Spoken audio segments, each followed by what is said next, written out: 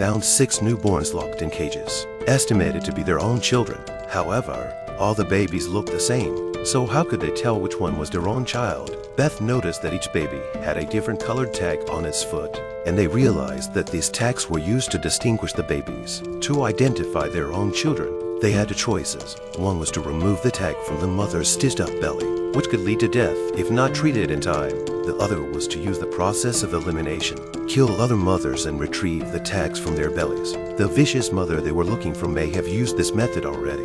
Luckily, one of the three was a doctor who accidentally discovered a veterinary clinic while escaping, and maybe they could use the equipment there to retrieve the tags. So the three of them headed towards the clinic, but they encountered two hungry dogs fighting over a mouse on the way. The three were discovered by the dogs and had to run for their lives. One of the girls separated from the others and ran to a nearby farm.